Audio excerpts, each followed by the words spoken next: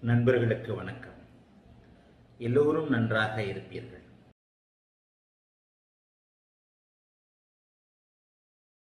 இன்றைக்கு பிரிமியம் வீடியோல ஒரு பன்னிரண்டு வீடுகள் வீடியோக்கள் தொடர்ச்சியாக போட போகிறோம். ஒன்று முதல் பன்னிரெண்டாம் வீடுகளில் இருக்கின்ற கிரகங்கள் எப்படிப்பட்ட கிர நிலையை செய்யும்? அப்போ ஒன்றாம் இடம் என்பது லக்னம். ஏற்கனவே ஒன்பது கிரகங்களுடைய காரகத்துவம் அந்த கிரகங்கள் என்னென்ன பலன்களை எப்படிப்பட்ட நிலையில செய்யும் யாருக்கு என்ன விதமான பலன்களை செய்யும் அப்படிங்கிறத நம்ம பார்த்திருக்கிறோம். அதை போலவே பாவகங்களில் இருக்கின்ற கிரகங்கள் ஒன்றாம் பாவகம் இரண்டாம் பாவகம் மூன்றாம் பாவகம்னு பாவகங்களில் இருக்கின்ற கிரகங்கள் எப்படிப்பட்ட நிலையை என்ன அமைப்பை தரும் அப்படிங்கிறத வந்து இன்றைக்கு பார்த்து விடலாம். இந்த அமைப்பின்படி ஒன்றாம் பாவகம் என்று சொல்லப்படக்கூடிய லக்னத்தில் என்ன கிரகங்கள் இருக்கலாம் அப்படின்றத. இப்போ வந்து ஒன்றாம் பாவகம் அப்படிங்கிறத வந்து மேஷம் முதல் பனிரெண்டு பாவகங்கள் வரும். மேஷம் முதல் மீனம் வரை பனிரெண்டு வீடுகள் இருக்கின்றன. அப்போ இதில் ஒன்றாம் வீட்டில் என்ன இருக்கும்? ஒன்றாம் வீடுன்றதை காமனா வச்சு கிரகங்கள் எப்படிப்பட்ட பலனை தரும்? அப்படின்றது மட்டும் இப்போ பேசுவோம். அதன் பிறகு வந்து எப்படி வந்து எந்தெந்த வீட்டில் எந்தெந்த கிரகங்கள் இருக்கின்றதை பார்த்துக்கலாம். அப்போ முதல்ல வந்து ஒன்றாம் பாவகம் என்று சொல்லப்படக்கூடிய சூரியன் தலைமகனாகிய சூரியனை எடுத்துக்கொள்ளலாம் ஒன்றாம் பாவகத்தில் லக்னத்தில் சூரியன் இருப்பது வந்து நல்ல நிலை அல்ல. ஒரு கோபம் மூளைச்சூடுன்னு சொல்லப்படக்கூடிய ஒரு டக்குன்னு சொல்லப்படக்கூடிய ஒரு ஷார்ட் டெம்பர் அப்படின்னு கொடுக்கறதா வந்து நம்முடைய மூல நூல்களில் சொல்லப்பட்டிருக்கிறது. ஆயினும் அது வந்து அனுபவ அமைப்பில் பார்க்க போனால் சூரியன் என்பவர் அரைப்பாவர். பொதுவாக லக்னத்தில் ஒன்றாம் இடத்தில் பாவர்கள் இருப்பது நல்லதல்ல. பாவர்கள் எப்படி பிரிக்கப்பட்டிருக்கிறார்கள்? முழுமையான பாவரான சனி முக்கால் பாவரான இவர் செவ்வாய் அரைப்பாவரான சூரியன். பாவியருடன் சேர்ந்தால் மட்டுமே பாவராக இருக்கக்கூடிய புதன். தேய்பிரை சந்திரன் ஒளியை இழந்து கொண்டிருக்கின்ற இருள் சந்திரன் பாவர் அது எந்த அமைப்பு தான். பாவருடன் சேர்ந்த ராஜகேதுகளை பத்தி கணக்கு எடுத்துக்கூடாது அது வந்து எந்த இடத்தை பொறுத்து பலம் தரக்கூடிய ஒரு கிரகம் அப்படிங்கிறத அடிக்கடி தெளிவாக சொல்லியிருக்கிறேன். அந்த அமைப்பின்படி இப்போது நான் சொல்வதைப் போல பெரும்பாலும் லக்னத்துல சூரியன் இருப்பது ஒரு இரண்டு அமைப்பாகத்தான் நீங்கள் எடுத்துக்கணும். மற்ற தொடர்புகளை பொறுத்து தான் அதை நீங்க எடுத்துக்கணும். லக்னம் வந்து ஒரு சுபத்தன்மை வாய்ந்த இடம் யாராக இருந்தாலும் பனிரெண்டு லக்னங்களில் பிறந்தவர்களுக்கு அவர்கள் எந்த லக்னத்தில் பிறந்திருக்கிறார்களோ அவர்களுக்கு அது சுபத்தன்மையுடைய வீடுதான். மகரமானாலும் கும்பமானாலும் பாவ வீடுகளாக இருந்தாலும் அவர்கள் லக்னத்தின் குணத்தை லக்னாதிபதியின் குணத்தை பிரதிபலிப்பார்களே தவிர அவர்களுக்கு அது நல்ல வீடுதான். நமக்கு நாம் நல்லவர்கள் அப்படிங்கிற மாதிரி நாம் நமக்கு நாம் அழகானவர்கள் அப்படிங்கிற மாதிரி லக்ன வீடு எல்லோருக்குமே அவரவருக்கு நல்ல வீடு அது. இந்த லக்னக்காரன் இந்த லக்னக்காரனுக்கு பொருந்துவானா பொருந்த மாட்டானா நட்பா நட்பாக வைத்திருப்பானா திருமணம் செய்து கொள்ளலாமா அப்படின்ற போதுதான் லக்னத்துடைய தரத்தை பார்ப்போமே தவிர எப்பொழுதுமே அவருக்கு அவர் எவரி மேன் லவ் ஹிம்செல்ஃப்னு சொல்லுவாங்க இல்லையா? ஒவ்வொரு மனிதனும் அவரை வந்து தான் தன்னையே காதலிப்பர் அப்படியே காதலிப்பார் அப்படின்ற மாதிரி லக்னம் என்பது உங்களுக்கு உங்க ஜாதகத்தை நீங்க எடுக்க பார்த்தீங்கன்னா பொதுவானது. அதே நேரத்தில் அந்த லக்னத்தில் எப்படிப்பட்ட கிரகங்கள் இருக்கலாம்? சூரியன் இருப்பது பாதி நன்மை பாதி கெடுவை ஏனென்றால் அவர் பாதி சுவர். அங்கே சூரியன் வேறு விதமான சுபத்துவ அமைப்புகள் இருந்தார் சரி இந்த சூரியனுக்கு என்ன இடங்கள் நன்மையாக சொல்லப்படுகிறது? மூன்று ஆறு பத்து பதினொன்று என்று சொல்லப்படக்கூடிய உபசய ஸ்தானங்கள்ல சூரியன் இருந்தால் நன்மை லக்னத்தில் இருந்தால் நன்மை அல்ல என்று சொல்லப்படுகிறது. ஆயினும் லக்னம் உங்களுடைய லக்னம் சூரியனுக்கு நட்பு வீடுகளாகி சூரியனுக்கு நட்பு விடாகி எந்த இடத்துலையுமே ஒரு நட்பு கிரகம் ஒரு வீட்டில் இருந்தது லக்னமாக இருந்தால் அது வலுதான். பகை கிரகங்களும் பாவ கிரகங்களும் தான் இருக்கக்கூடாதே தவிர நிச்சயமாக லக்னத்தில் நல்ல கிரகங்கள் நட்பு கிரகங்கள் இருக்கலாம். எல்லா இடத்துலையுமே இதை பொருத்தி பார்த்துக்குங்க. நல்ல இடத்துல ஒரு உயர்தர ஜாதகம் அப்படின்னு சொல்லிட்டாலே அது வந்து கிரகங்கள் நட்பு நிலைமைக்கு கீழே இறங்காதுன்னு அடிக்கடி சொல்லுவேன். கிரகங்கள் க நட்பு நிலைமைக்கு கீழே இறங்காது. பகை நீச்சத்தில் இருக்காது. பாபத்துவமாக அஸ்தமனம் கிரகணம் போன்ற அமைப்புகளில் கிரகங்கள் இருக்காது. முக்கியமாக ராகு கெதுக்கள் சனி சனியோடு சேர்ந்து கிரகங்கள் இருக்காது அப்படின்னு தான் உயர்தரமான யோக ஜாதகம். ஆகவே லக்னத்தில் இருளடைந்த இருள் கிரகங்கள் இருக்கக்கூடாது அப்படிங்கிற அடிப்படையில் சூரியன் சுபத்துவமான நிலைமையில இருக்கலாம். தனித்து எந்த விதமான அமைப்பிலும் இல்லாமல் அவருக்கு சுப தொடர்புகளும் கிடைக்கல பாவ தொடர்புகளும் கிடைக்கல அப்படிங்கிற நிலைமையில அவர் அங்கே இருப்பது. பாதி நன்மையும் அந்த லக்னத்தின் எந்த ஆதிபத்தியத்திற்கு சூரியன் உரியவர் அப்படின்றத பொறுத்து அங்கே அவருக்கு பலன்கள் இருக்கும். இரண்டாவதாக மிக மிக முக்கியமாக சொல்ல நான் ஏற்கனவே சொல்லிட்டேன். அந்த லக்னத்தில் இருந்தாலே வந்து இன்னும் ஒன்று மூளைச்சூடு காரணமாக இருந்தாலும் லக்னத்தில் இருக்கிற இருக்கும் சூரியன் தன்னம்பிக்கையை கொடுப்பார். சூரியன் வந்து ஒரு தன்னம்பிக்கைக்கான ஒரு வலிய ஆளுமை தன்மை உள்ள ஒரு மிக மிக முக்கியமான கிரகம். அப்போ லக்னத்தில் இருக்கின்ற சூரியன் வந்து வலிமையான ஒரு தன்னம்பிக்கையை தன்னுடைய தசையில் கொடுப்பார். எல்லா கிரகங்களும் எந்த இடத்தில் இருந்தாலும் அதனுடைய தசையில் பலன் தரும் அப்படிங்கிறது தான் விதி. ஆகவே லக்னத்தில் சூரியன் பாபத்துவமாக இல்லாத நிலைமையில நிச்சயமாக அது நட்பு லக்னமாக இருந்து அவருக்கு நட்பு வீடாக இருந்தால் லக்னத்தில் இருக்கிற சூரியன் பெரிய கெடுதல்களை நிச்சயமாக செய்ய மாட்டார். லக்ன சூரியன் சில நேரங்களில் லக்ன சூரியன் அந்த மூளைச்சூடு சம்பந்தமான சில விஷயங்கள் சூடாகிறது டெம்பர் ஆகிறது. அவர் எப்பவுமே ஒரு டெம்டேஷனோட உடல் சூடாகி கொண்டே இருக்கக்கூடிய ஒரு ஏன்னா உள்ள லக்னம்ன்றது என்ன? இந்த தலை உச்சந்தலை இந்த இந்த பகுதியை குறிக்குது இல்லையா? எப்பவுமே அந்த இடத்துல ஆக்டிவாக இருந்து கொள்ளக்கூடிய ஒரு அமைப்பை கண்டிப்பாக லக்னத்தில் இருக்கின்ற சூரியன் தருவார். இரண்டாவது சந்திரன். லக்னத்தில் சந்திரன் வளர்பிறை சந்திரனாக இருப்பது சுப தொடர்புகளோடு இருப்பது மிகப்பெரிய உயர்நிலைமை லக்னம் ரிஷப லக்னமாகி உச்ச சந்திரன் இருந்தால் அது ஒரு யோகம் தான் அங்கே அவர் மாரகாதிபதி நிலையை பெறுவார். சந்திரன் வந்து நிச்சயமாக இவருக்கு இப்ப நல்ல பலனை தரமாட்டார்னு சொல்லுவேன். மூன்றாம் இடம் சுக்கரனுக்கு. இப்போ இங்கே இதில் என்னன்னா லக்னாதிபதிக்கு லக்னத்தில் உட்கார்ற உட்கார்ற கிரகம் நல்ல கிரகமானு யோசிச்சுக்கணும். லக்னத்திற்கு லக்னத்திற்கென்று ஒரு அதிபதி இருப்பார். லக்னத்தில் கிரகங்கள்ன்ற சப்ஜெக்ட்ல பேச ஆரம்பிச்சிட்டோம். அப்ப லக்னத்திற்கென்று ஒரு அதிபர் இருப்பார். அந்த லக்னாதிபதிக்கு லக்னத்தில் அமர்கின்ற கிரகம் நண்பராக இருந்தால் மிகப்பெரிய யோகம். ஆக அந்த அமைப்பின்படி லக்னத்தில் வளர்பிறை சந்திரன் இருந்து சுப தொடர்புகளோடு இருக்கின்ற நிலைமையில மிகப்பெரிய நல்ல உயர்நிலை ஒருவருக்கு கிடைக்கும். ஏனென்றால் மாதா காரகன் என்று சொல்லப்படக்கூடிய மனதை குறிக்கக்கூடிய கிரகம் வந்து சந்திரனாக இருந்து தேய்பிரை சந்திரனாக இல்லாமல் இருந்து சனி சந்திரன் தொடர் சனி செவ்வாய் தொடர்புகள் பெறாமல் செவ்வாய் தொடர்பு பெறலாம். சனி ராகு தொடர்புகளை பெறாமல் இருந்தால் அவர் குழப்பவாதியாக இல்லாமல் தெளிவான சிந்தனை உள்ளவராக மிகவும் கடினமான ஒரு நல்ல மனதை குறிக்க குறிக்கக்கூடிய ஒரு அமைப்பாக இருப்பார். ஆகவே அது நட்பா இருக்கிறாரான்னு பார்த்துக்கங்க. அடுத்து செவ்வாய்.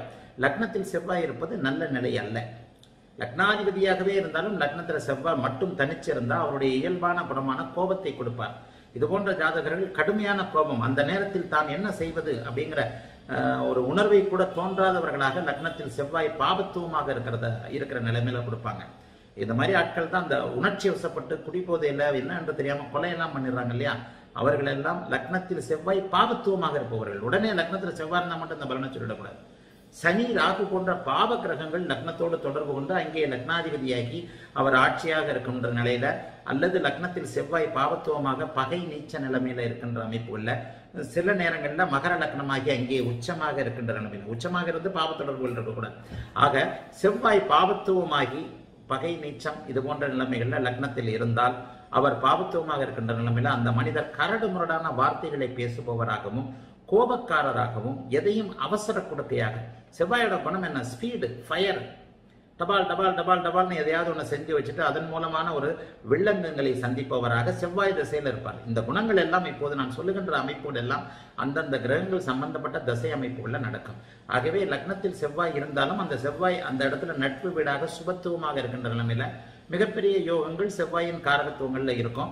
ஆனால் பொதுவாக செவ்வாய் லக்னத்தில் இருக்கிறது நல்லதில்லை. அவசரக்கூடிய நிதானமற்ற போக்கையும் எதையும் செய்துவிட்டு அதன் பிறகு வருகின்ற விளைவை அனுபவிக்கலாம் அப்படின்னு கொடுக்கக்கூடிய ஒரு அமைப்பை வந்து லக்னத்தில் இருக்கின்ற செவ்வாய் தருவார் சுபத்துவமற்ற செவ்வாய் தருவார். ஆகவே செவ்வாய் பொதுவாக சனிராக கூட சேர்ந்து லக்னத்தில் இருப்பது நல்ல நிலை அல்ல.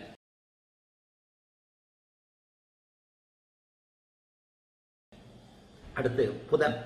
புதன் எப்போதுமே வந்து ஒரு புத்திசாலித்தனமான கிரகம். தனித்த புதன் அங்கே லக்னத்தில் திக்பலம் பெறுவார். எப்போவுமே லக்னத்துல ரெண்டு கிரகம் திக்பலம் அடையும். ஒன்னு செவ் ஒன்னு புதன் ஒன்னு குரு. லக்னத்தில் வந்து புதன் இருப்பது அது வந்து ஒரு நட்பு வீடாக இருந்தால் மிகப்பெரிய மேன்மையாக இருக்கும். மிகப்பெரிய ஒரு புத்திசாலியாக அவர் இருப்பார். தனித்து இருந்தார். அல்லது சுபத்துவமாக இருந்தார். லக்னத்தில் புதன் இருப்பது தனித்து இருப்பதும் மிகப்பெரிய நன்மை. ஏனென்றால் தனித்த புதன் சுபராக சுபர். சில நேரங்களில் தனித்த புதன் குருவுக்கு நிகரான சுபர்னு சொல்லுவேன். அது மிகைப்படுத்தப்பட்ட வார்த்தையாக இருந்தாலும் குருவால் சுபத்துவப்படுத்தப்படுவதில் முப்பத்தி மூன்று சதவிகிதம் இவர் தனித்த புதன் சுபத்துவப்படுத்துவார். ஆகவே இந்த அமைப்பில் லக்னத்தில் புதன் இருப்பது மிகப்பெரிய நல்ல ஒரு மேன்மையான அமைப்பாக நிச்சயமாக சொல்லப்படும். ஏன்னா லக்னத்தில் அவர் திக்பலம் அடைந்தால் கூடுதலாக அவர் ஆட்சி உச்சம் போன்ற கன்னி மிதன லக்னமாகி தனித்து ஆட்சி உச்சமாக இருக்கின்ற நிலைமையில கன்னியில் ஆட்சியும் மூலத்திரிகோணமும் உச்சமும் திக்பலமும் பெற்று நான்கிலும் இருக்கிற நிலைமையில அவர் வக்கரமாக இடையா வக்கரம்னா இயல்புக்கு மாறானது. வக்ரம் அடையாமல் வேறு விதமான பாவத்துவ தொடர்புகள் அடையாமல் அவருக்கு வந்து அஸ்தமன தோஷம் இல்லை. அதனால சூரியனோடு நெருங்கி இருக்கின்ற நிலைமையில சிலது பலன்களை வேண்டுமானால் குறைக்க செய்வார். அப்படி கூட மூல நூல்கள் இல்லை. புதனுக்கு அஸ்தம அஸ்தமன தோஷம் இல்லை என்று ஒட்டுமொத்த மூல நூல்களும் பொதுவாக சொல்லிவிடுகின்றன. மிக அருகே அவர் வந்து சூரியனுக்கு அருகே இருக்கின்ற கிரகம் அப்படிங்கிறதுனால. ஆகவே எந்த ஒரு சூழ்நிலையிலும் லக்னத்தில் புதன் இருப்பது அவர் அங்கே திக்பலத்தை அடைந்திருக்கிறார் என்பதனாலும் அவர் தனித்திருந்தால் மிக நல்ல பலன்களை செய்வார் அப்படிங்கிறதுனால புதன் தசையில். அதே போல அந்த புதன் தனக்கு மிகவும் பிடித்தமான சுக்கரனோடு இணைந்திருந்தால் மிக அருமையான நல்ல பலன்களை செய்வார். சனியோடு சனிக்கு நண்பராக இருந்தாலும் சனி லக்னத்தில் இருக்கிறது நல்லதில்லை. ஆக புதன் சுக்கரனோடு சேர்ந்திருக்கும் போது தானும் சுவராகி இருப்பார். குருவோடு சேர்ந்திருக்கும் போது இரண்டு திக்பல கிரகங்கள் லக்னத்தில் இருக்கின்றன அப்படிங்கிற அடிப்படையில் ஒரு நல்ல பலன்கள் இருக்கும். ஆகவே அனைத்து நிலைகளிலும் புதன் பகை நீச்சம் போன்ற நிலைகளை அடையாமல் பாபத்துவம் அடையாமல் இருக்கும் பொழுது லக்னத்தில் புதன் இருப்பது நல்லது. லக்னா அந்த லக்னக்கார் அந்த ஆ அவர் அந்த நபர் புத்திசாலியாக இருப்பார். புதனின் காரகத்துவங்கள் அப்படியே இருக்கும். லக்னத்தில் அமருகின்ற கிரகங்கள் லக்னத்தை பார்க்கின்ற கிரகங்கள் லக்னாதிபதி இவர்கள் மூவரும் தான் உங்களுடைய குணத்தை அறிவை உங்களுடைய அமைப்பை புது நிர்ணயிக்கிறவங்க. அதனால புதன் லக்னத்தில் இருக்கிறது நிச்சயமாக நல்ல ஒன்று. அதனை அடுத்து குரு. இப்போ குரு புதனுக்கு சொன்ன அத்தனை விஷயங்களையும் ரெட்டிப்பாக குரு செய்வார். இப்போது புதனுக்கு சொன்ன அனைத்து விஷயங்களையும் இரண்டு மடங்கு கூடுதலாக மூன்று மடங்கு கூடுதலாக குரு செய்வார் அப்படிங்கிறது தான் உண்மை. ஏனென்றால் முப்பத்தி மூன்று சதவீத அமைப்பு அமைப்புல லக்ன புதன் பலன் தருவார்னா நூறு சதவீத பலனை லக்ன குரு செய்வார். இந்த லக்ன குரு என்னன்னா கொஞ்சம் ஏமாலியா இருப்பார். நல்லவனாக இருப்பார். மனசாட்சியாக இருப்பார். லக்னோ குரு சுபத்துவமாக இருக்கிறவனை நம்பலாம். அவனை நம்பி ஒரு பொருளை ஒப்படைக்கலாம். அவனை நம்பி கையெழுத்தப்படாமல் பணம் கொடுக்கலாம். வாக்கு சுத்தம் இருக்கும். மனசாட்சி இருக்கும். ஏமாத்த லக்னம் அதே குரு பாபத்துவமா சனிராகோட சேர்ந்திருந்தா தலைகீழா மாறிடும். கிரகங்களுடைய சுபத்துவ பாபத்துவத்தில் தான் அனைத்து பலன்களும் அடங்கி இருக்கிறதே தவிர எண்களில் இல்லைன்றது அடிக்கடி நான் சொல்லுகிறேன். அப்ப எண்கள்ல இந்த மாதிரியான பலன்கள் நிச்சயமாக கிடையவே கிடையாது. கிரகங்களின் சுபத்துவ பாவத்துவ அடிப்படையில் தான் அவ்வளோத்தையும் நீங்க அப்படியே மேட்ச் பண்ணணும். ஒன்னில் குரு இருந்தால் அப்படிலாம் பேச வேண்டாம். நட்பு பகை நீச்சம் இவைகளுக்குள்ளும் சுபத்துவம் இருக்கின்றன. நட்பு வரைக்கும் இருக்கின்ற கிரகம் இயல்பான சுபத்துவத்தோடு இருக்கிறது. சமத்தை சமத்தை நெருங்கி பகையில் விழுந்து நீச்சம் அடையும் போது எந்த கிரகமும் பாவத்துவம் அடையும். நீச்சத்தில் இருக்கும்போது எல்லா கிரகமும் பாவத்துவம் தான். அதன் பிறகு அது வந்து மறைமுகமாக சுபத்துவத்தை அடைந்திருக்கிறதா அப்படிங்கிறத வச்சு தான் நீங்க பார்க்க வேண்டும். ஆஹ் ஆக அந்த நிலைமையில லக்னத்தில் குரு திக்பலமாக இருக்கிறது மிகப்பெரிய மேன்மை. இந்த மாதிரியான அமைப்புல குரு ஏழு ஐந்து ஒன்பது ஐந்து ஏழு ஒன்பதை பார்ப்பார் இல்லையா? அதிர்ஷ்டத்தை பார்ப்பார் குழந்தைகள் அமைப்பை பார்ப்பார் மனைவி கணவன் ஸ்தானத்தை பார்ப்பார் பாக்கியம் நாம் எத்தகைய விஷயங்களை அனுபவிக்க போகிறோம் அப்படிங்கிறத வந்து அவர் பார்ப்பார். அத்தனை அமைப்புகளுமே மிகப்பெரிய நல்ல ஒரு மேன்மையாக இந்த லக்ன குரு கொடுப்பார். ஆகவே லக்னத்தின் குரு குரு எங்க இருந்தாலும் அந்த ஆதிபத்திய விசேஷத்தை அவர் செய்வார். அவர் பார்க்கும் இடங்கள் பலம் பெறும் இருக்கும் இடம் ஓரளவுக்கு புனிதப்படும் அப்படிங்கிறதுனால குரு மட்டும் ஒரு தனிப்பட்ட வீட்டோ பவர் உள்ள ஒரு கிரகம். சனி எங்க இருந்தாலும் கிடைக்கும்ன்றது அதுக்கு அடுத்து பார்ப்போம். சரி அடுத்து லக்னத்தின் சுக்கிரன். சுக்கிரனும் குருவுக்கு நிகரான ஐம்பது சதவிகித ஒளித்திறன் கொண்ட ஒரு கிரகம். அப்ப அந்த ஐம்பது சதவீத ஒளித்திறன் கொண்ட குர- கிரகம் எப்போதும் புதன் சுக்கரனுடைய புதன் சூரியனுடைய சேர்ந்துகிட்டு இருப்பார்ன்றதுனால தனித்து சில நிலைகள்ல தான் அமருவார். அப்ப தனித்து அமரும் போது மிகப்பெரிய நல்ல பலன் இருக்கும். தனித்து சுக்கரன் எங்கே இருந்தாலும் குருவுக்கு நிகரான பாதி அளவுக்கு சுக்கரன் பாதியாவே இருக்கட்டுமே. தனுசுக்கும் மீனத்திற்கும் அவர் பாதிதான். இருந்தாலும் லக்னத்தில் சுக்கிரன் அமர்வது நல்ல குணங்களையும் எதையும் தாங்கும் சக்தியையும் நல்ல பழகும் தன்மையையும். நல்ல குணங்களை தரும். என்ன கெட்டாலும் மேன்மக்கள் மேன்மக்களே அப்படிங்கறத நீங்க வந்துடணும். கெட்டாலும் மேன்மக்கள் மேன்மக்களே. சுபகிரகங்கள் என்ன செய்யும்? பாபகிரகங்கள் என்ன செய்யும்? சுபத்துவம் என்ன தரும்? பாபத்துவம் என்ன தரும்? அப்படிங்கிறது அப்படியே ஒரு ஒரு செட்ரேட்டில் கொண்டு வந்துட்டு அந்த நட்பு பகை வீடுகளை வச்சா தான் நீங்கள் ஒவ்வொரு பாவகமாக. இப்போது நான் லக்னத்தில் ஆரம்பிச்சிருக்கிறத பன்னிரெண்டு வீடுகளில் கொண்டு வந்து பிரீமியம் வீடியோவில் முடிக்கிறேன். பன்னிரெண்டு வீடுகளில் ப்ரீமியம் வீடியோவை முடிக்கிறேன். அதுக்குள்ளே ஒரு ஒரு பெரிய ஒரு ஒரு க கால்குலேஷன் உங்களுக்கு வந்துடும் ஒரு ஜாதகத்தை எப்படி அளவிடுவது அப்படின்ற ஒரு கால்குலேஷன் வந்துடும் ஆகவே லக்னத்தில் சுக்கரன் இருப்பது அவர் அங்கே ஆட்சி வீடா? லக்னாதிபதியாகவே இருந்தால் மிகப்பெரிய யோகம் இல்லையா? அவர் அங்கே ஆட்சி வீடு. பகை வீடாக இருக்கக்கூடாது. நீச்ச வீடாக இருந்தால் கூட நீச்ச பங்கமாக இருக்கலாம்.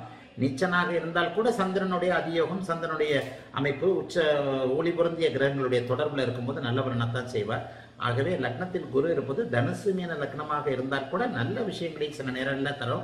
ஆதிபத்திய கெடுதல்களை செய்தாலும் ச- சுக்கிரன் தருகின்ற காரக அமைப்புகள் காமம் சொகுசு வாழ்க்கை நல்ல வாழ்க்கை துணை புரிந்து கொண்ட வாழ்க்கை துணை இது போன்ற அமைப்புகளை நிச்சயமாக ஆனால் உன்னை குருவை மாதிரியே லக்னத்தில் சுக்கிரன் இருக்கிறது ஏமாளித்தனத்தை கொடுக்கும். அதையும் சொல்லிடணும்.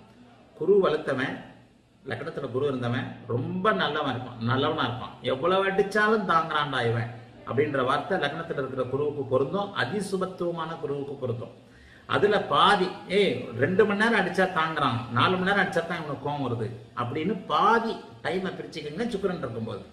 எவ்வளவு அடித்தாலும் தாங்குவார் அப்படிங்கிற நிலைமையில பாதி அடித்தால் தாங்குவார்ன்றதை சுக்கரன் கொடுப்பார்.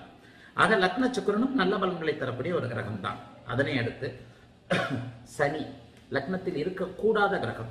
சுபத்து லக்னாதிபதியாகவே இருந்தாலும் இருக்கக்கூடாத கிரகம். சுபத்துவம் ஒன்றே விதிவிலக்கு சூட்சும வலு ஒன்றே விதிவிலக்கு சனி கேதுவோடு சேர்ந்த லக்னத்தில் இருந்தால் பரவாயில்ல. எந்த லக்னமாக இருந்தாலும். சனி இருந்தாலே பேசிக்காக புரிஞ்சுக்கிட்டா எந்த கிரகத்தின் காரகத்துவங்களோ அந்த கிரகத்தின் காரகத்துவங்கள் அப்படியே லக்னத்தில் பிரதிபலிக்கப்படும். ஒவ்வொரு பாவகத்திலும் பிரதிபலிக்கப்படும். சனியின் காரகத்துவம் என்ன? சோம்பல் தயக்கம் மந்தம் எதிலும் நிதானம் நம்பிக்கை துரோகம் நயவஞ்சகம் திருட்டுத்தனம் அடுத்தவரை பார்த்து பொறாமைப்படுதல் வளவளவென்ற பேச்சு தன்னை பற்றிய மிகை மதிப்பீடு. வளவளவளவளன்னு பேசிக்கிட்டு இருக்கிறவன் அடுத்தவனை பார்த்து எப்போவுமே பொறாமப்படுறவன். கண்களை நேருக்கு நேர் பார்க்காமல் பேசும் குணம் சனியனுடைய. புதன் வளர்த்தவன் குரு வளர்த்தவன் சுக்கரம் வளர்த்தவன் லக்னத்துல சுபகிரகங்கள் இருந்தவன் கண்ணுக்கு நேரம் பார்த்து பார்ப்பான் எதிரியா கூட. டேய் என்ன வெட்டப்படியா? வெட்டியா? என்ன? அப்படின்றது தான் சுபகிரகங்களுடைய குணம். நல்லதையே செய்ய போனாலும் நயவஞ்சகத்தை செய்ய போனாலும் கண்ணுக்கு நேராக பார்த்தாமல் அப்படியே குனிஞ்சு பார்த்து தாழ்வு மனப்பான்மையோடு இருக்கிறது லக்ன சனியின் குணம். சனியின் குணம் அது.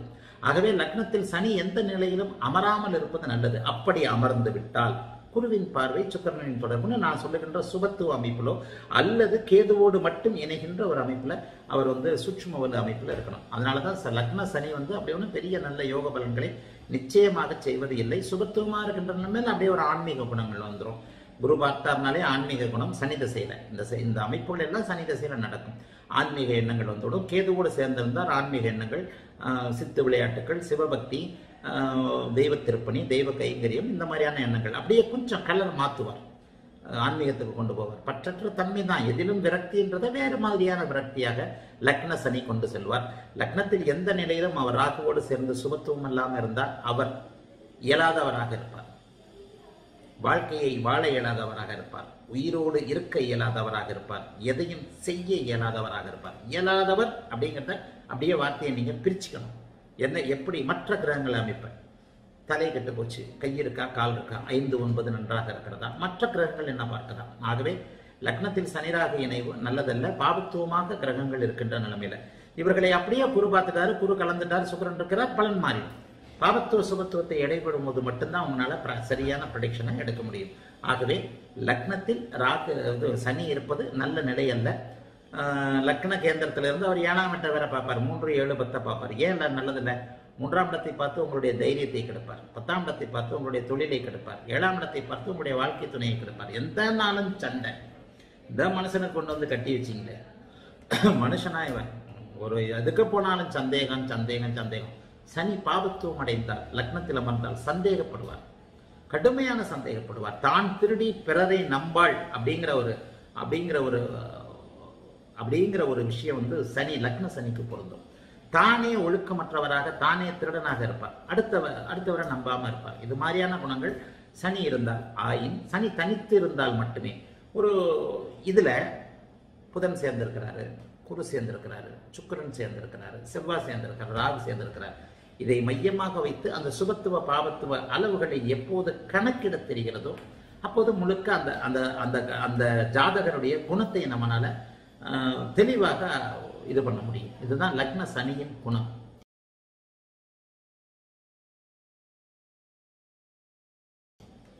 அடுத்து நம்முடைய கதாநாயகன் ராகு வந்துருவார். லக்ன ராகு. லக்ன ராகு. ராகு வந்து ஒரு கணிக்க சிக்கலான கிரகம்ன்றது இந்த லக்னத்திலையும் இருக்கிறது. லக்னத்தில் ராகு இருக்கக்கூடாது. மேஷம் ரிஷபம் கடகம் கன்னி மகரம். இந்த ஐந்து வீடுகள் இதாக இருந்தால் அது பரவாயில்ல. அது கூட ஓரளவுக்கு ராகுவின் காரகத்துவங்கள் ராகுவின் சில சாதுரியமான பேச்சு சம்பந்தமைகள் சாதுரியமாக ஏமாற்றுகிற சில விஷயங்களை தான் ராகு கொடுக்கும். எந்த நிலையிலும். அதே நேரத்தில் பாவத்துவமாக இருந்தால் தற்கொலை பண்ணிக்கிறவங்க நிறைய பேர் பார்த்தீங்கன்னா லக்னத்தில் ராகு இருக்கிறவங்க சூசைடு எப்போ எப்போ சூசைடில் போகிறோம் நம்மளால் எதுவுமே முடியலை. நான் எதற்கும் தகுதி இல்லாதவன். இத்தகைய ஒரு துன்ப நிலை எனக்கு வந்து விட்டது. இப்படி ஒருத்தர் என்னை ஏமாத்திட்டாரு. வாழ்க்கையை வாழ்வதற்கான எப்படிப்பட்ட ஒரு சூழ்நிலையில நமக்கு ஒரு துரோகம் நடந்தாலும் காலம் அனைத்து விதமான விஷயங்களையும் மாற்றும் அப்படிங்கிற அமைப்பின்படி ஏதாவது ஒரு காலப்போக்கில் அதை மறக்கிறோம். அல்லது அவர்களை மன்னிக்கிறோம். அல்லது அவர்களை வெறுக்கிறோம். திரும்ப சேர்க்க மாட்டோம். ஒரு ஒரு ஒரு நம்பிக்கை துரோகம் ஒரு இடத்துல நடந்து போச்சு அப்படின்ற போது இதை வந்து அப்படியே மனசுக்குள்ளேயே போட்டுக்கிட்டு உழுக்க போட்டுக்கிட்டு இருக்கிறவர் லக்னத்தில் இருக்கிற ராகு அதை கடைசியில் தற்கொலை முடிவுக்கு கொண்டு போய் போடுவார். லக்னத்தில் இருக்கும் ராகு ஆறு எட்டாம் அதிபதிகளோடு சேர்ந்து தசாபக்தியில் நடக்கும்போது ஒருவர் தற்கொலை முடிவை எடுத்திருப்பார். நீங்க தற்கொலை முடிவை பண்ணவங்க ஜாதகத்தை அதை பாருங்க. அதுக்காக உடனே ஒரு ஜாதகத்தை பார்த்துட்டு சுபத்துவமான ஜாதகத்தில் பார்த்துட்டு இவன் தற்கொலை பண்ணிக்குவானான்னு கேட்காதீங்க. அத்தனைக்கும் சுபத்துவ பாபத்துவ விளிம்புகளையும் எல்லை நிலைகளையும் அப்படியே நம்ம வந்து கால்குலேட் பண்ணிட்டு தான் வந்து அடுத்த இதை எடுக்கணும். இன்னொன்று மிக மிக முக்கியமாக இப்போது நான் சொல்லுகின்ற கிரகம். இப்போ வந்து பாவக சுபத்துவத்தை முடிச்சுட்டு தான் பாவக முனை பற்றிய விஷயங்களுக்கு வரணும்னு நினைச்சேன். இப்போ பாவக சுபத்துவம் காரக சுபத்துவத்தை முடிச்சிட்டோம்னா அதற்கடுத்து பாவக முனைக்கு அருகில் எத்தகைய கிரகங்கள் இருக்கின்றனன்றது ரொம்ப முக்கியம். ஒரு பாவகம் எத்தனையாவது முனையில் ஆரம்பிக்கிறது? ராகு அந்த முனையில் தான் இருக்கிறாரா? அல்லது எதிரே பார்க்கின்ற கிரகங்கள் அந்த முனையில் தான் பார்க்கின்றனவா? அப்படின்றது அடுத்த சப்ஜெக்ட் இந்த ஐஓஎஸ் ஆப்புக்கு தான் பெரிய இது பண்ணி ஐஓஎஸ் காரங்க எல்லாம் கத்துறாங்க. வேற ஏதாவது எங்களுக்கு வழி கொடுங்கன்ட்டு. அதனால ஒரு பதினஞ்சு இருபது நாளுக்குள்ள ஆன்லைன் கிளாஸஸ் ஆரம்பிக்கிற மாதிரியான எல்லா ஐடியாலையும் இருக்கிறேன். ஏன்னா சகலரையும் ஆன்லைன் கிளாஸஸ் போய் சேரணும். வெளிநாட்டில் நிறைய பேர் ஐ ஐஃபோன் தான் வச்சுருக்கிறீங்க. அதனால வந்து கொஞ்சம் அப்படியே யோசனையாக இருக்குது இல்லைன்னா சென்ற மாதமே ஆன்லைன் கிளாஸஸ் ஆரம்பிச்சிருக்கலாம். அடுத்த மாதத்துக்குள்ளே எப்படியும் ஆரம்பிச்சே தீர்வேன். அடுத்த அடுத்ததுக்குள்ள ஐஓஎஸுக்காக சேர்த்து உலகம் முழுக்க இருக்கின்ற என்னுடைய ஃபாலோவர்கள் ஒட்டுமொத்தமாக ஒரே நேரத்தில் கிளாஸை பார்க்கறதுக்காக. இப்பவே பாதி பேர் பிரீமியம் வீடியோக்களை பார்க்க முடியவில்லை அப்படின்னு சொல்லிட்டு நிறைய பேர் வந்து மனச மனச்சங்கடத்தில் இருக்கிறீங்க. அதனால கொஞ்சம் தயவுசெய்து போருங்க. லக்னத்தில் இருக்கின்ற ராகு சுபத்துவமாக அவருக்கு உடித்த அந்த ஐந்து இடங்களில் இருக்கும்போது பெரிய சோதனைகளை செய்யறதில்லை. அதே நேரத்தில் சனி பார்த்து சனி இணைந்து செவ்வாய் பார்த்து லக்னத்தில் இருக்கும் ராகு சனி செவ்வாயோடு இணைந்திருந்தால் சனியின் வீட்டில் செவ்வாயோடு இணைந்து செவ்வாயின் வீட்டில் சனியோடு இணைந்து லக்னத்தில் இருக்கிற ராகு தசை வந்தால் அவருக்கு வந்து கடுமையான துன்பங்கள் ப- பிரச்சனைகள் வரும். சனி ச குரு சுக்கர இதுதான் அதுக்கு விதிவிலக்காக இருக்கும். ஆகவே லக்னத்தில் ராகு சுபத்துவமாக இல்லாமல் பாபத்துவமாக இருக்கின்ற நிலைமையில ஒரு ஒரு ஜாதகருக்கு நல்ல வா- நல்ல வழிகள் நல்ல வாய்ப்புகள் கிடைப்பதற்கு வழி இல்லை. ராகு வந்து ஒரு வித்தியாசமான கிரகம். எந்த சூழ்நிலையிலும் சனி செவ்வாயோடு சேரக்கூடாது. சனியின் வீட்டில் செவ்வாயோடு இருக்கக்கூடாது. செவ்வாயின் வீட்டில் சனியோடு இருக்கக்கூடாது. அதே போல் இருவருமே சேர்ந்து ஒட்டுமொத்த நிலையில் ஒரு பார்வை இணைவு அப்படிங்கிற நிலைமையில் ராகுவோடு இருக்கக்கூடாது. இருந்து விட்டால் குரு சுக்கர தொடர்புகள் கண்டிப்பாக இருக்க வேண்டும். பார்வை இணைவு அப்படிங்கிற வகையில்.